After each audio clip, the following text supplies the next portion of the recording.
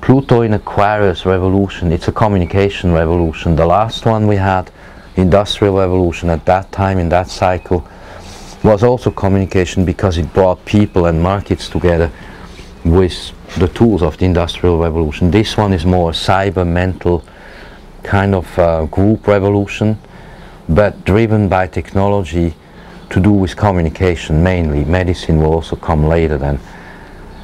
But the tools at the disposal of the new society are clearly of a communication technology. We had discussed the new internet will be maybe the omninet, but that works with different new electromagnetic frequencies and energies, so we don't even really know yet how this would look.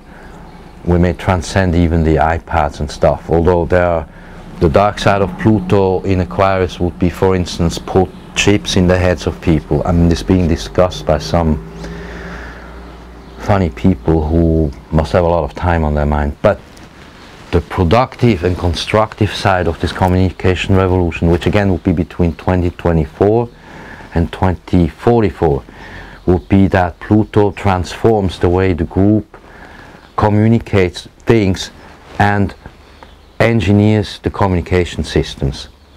This will do away with a lot of useless jobs where people do things they don't need to do. They'll be doing more creative, more intelligent things. So I'm designing you a possibly very positive, creative management time ahead.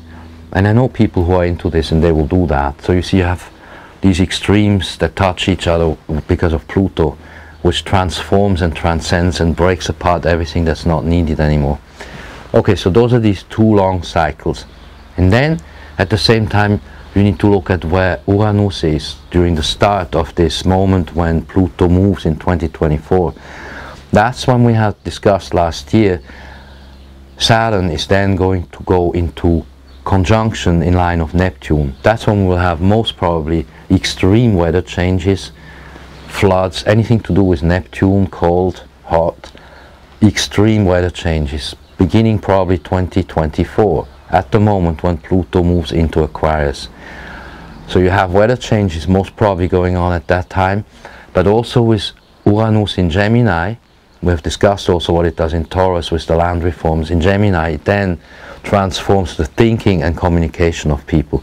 And this alignment, 120 degrees, that lasts from about 2025 to 2029, 30, moves us towards or points to a very constructive, creative, technological society with new tools of communications.